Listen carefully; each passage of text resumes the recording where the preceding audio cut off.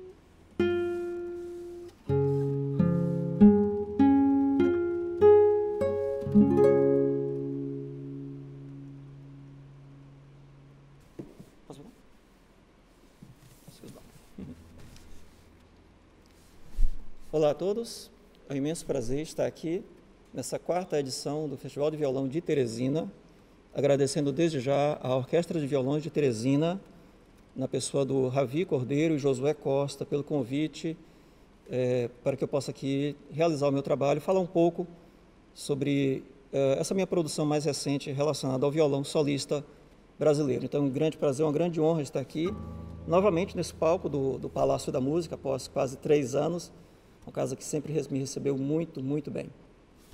Bom, a, a primeira música que eu toquei chama-se Excelência para um Amor Retirante, é uma canção de Alomar Figueira Melo, a qual eu fiz uma pequena adaptação, uma transcrição para violão solo. É, vou tocar agora um outro, um outro arranjo para violão solo de uma canção brasileira, é, de Cláudio Nucci e Paulinho Tapajós, e uma canção que ficou muito conhecida no início dos anos 80 pela gravação do do grupo musical Roupa Nova, uma canção chamada Sapato Velho.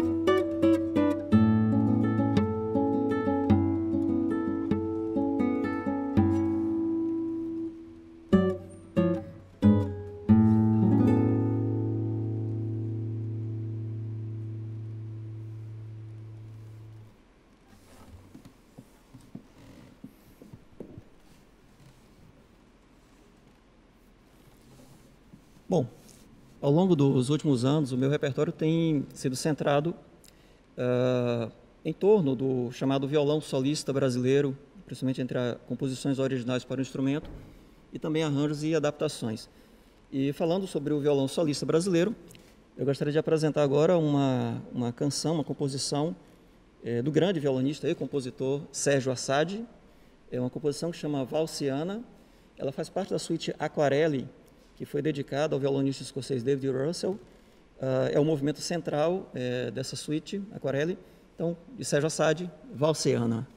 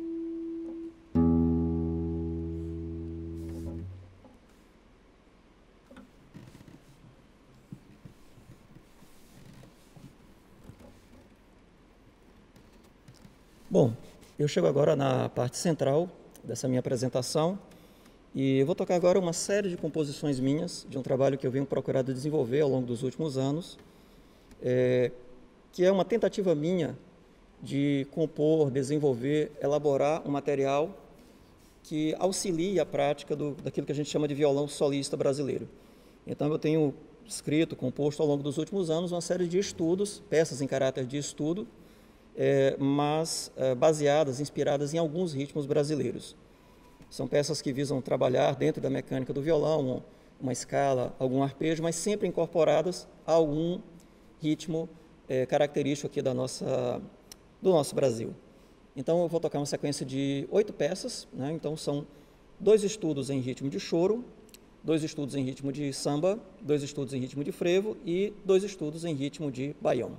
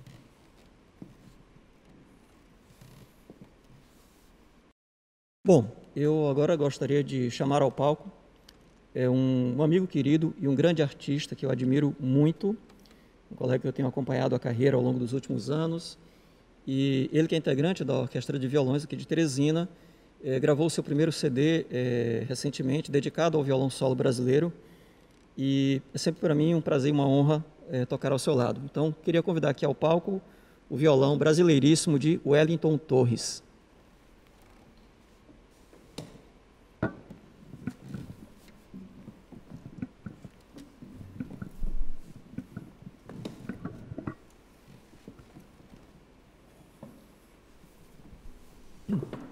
É, a música que a gente vai tocar é, chama-se Arapuca. É, coincidentemente, é uma música que eu escrevi dedicada a Wellington. Então, é, esse momento agora é também de uma estreia mundial, é a primeira vez que a gente é, toca essa música em público. Então, Arapuca.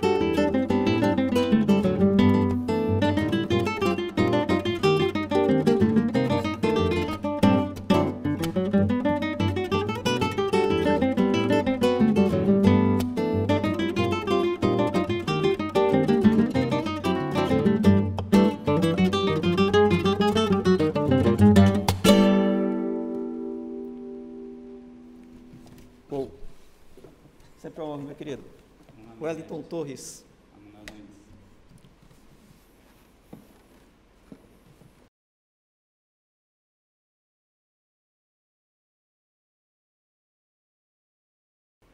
Bom, antes de tocar a, a última música, eu gostaria aqui de, de, reafirmar o meu agradecimento à Orquestra de Violão de Teresina, na pessoa do Ravi Cordeiro e Josué Costa, também na coordenação desse quarto Festival de Violão de Teresina, é, pelo convite, pelo carinho ao meu trabalho. É sempre uma, um grande prazer é, estar aqui nesse palco e compartilhar desse movimento em prol da, da performance, do ensino, da educação de música aqui na nossa região. É, através da instituição a qual faço parte, o Instituto Federal do Piauí, é sempre um prazer saber que muitos dos nossos alunados estão também associados a todos esses movimentos, tocando, ensinando e participando também desse grande festival que engloba também grandes nomes eh, do violão que estão presentes, conforme vocês podem acompanhar na programação ao longo desses dias. Bom, a, a última música que eu toco, ela é de autoria do Pedro Raimundo, é um acordeonista da região sul do país, e curiosamente essa música foi, ficou muito conhecida, muito popularizada através de uma gravação do Zé Calixto, é um acordeonista da Paraíba, e que faleceu inclusive ano passado. e é uma música chamada Escadaria, que originalmente é escrita no formato de como um choro, mas que ficou incorporada muito bem ao repertório é, das festas de forró, do, do, de vários dos ritmos nordestinos aqui na, na nossa região. Então, eu tomei a liberdade de fazer uma, uma vez que essa canção faz parte do meu imaginário musical desde a, a minha infância, há muito, muito tempo atrás.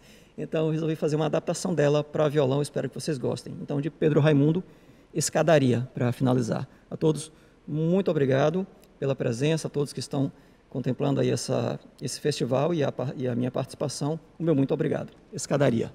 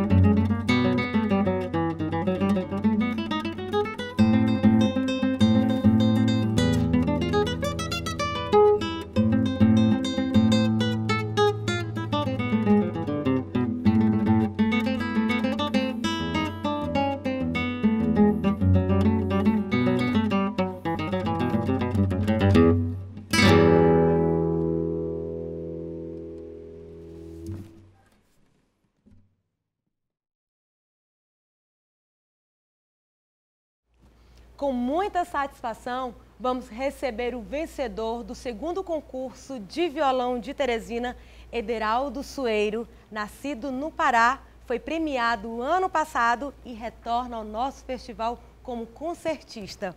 Ederaldo foi aceito para doutoramento pela Unicamp, sob orientação de Gilson Antunes, reputado por John Mills, da Inglaterra, como um dos maiores talentos visto por ele nos últimos 20 anos.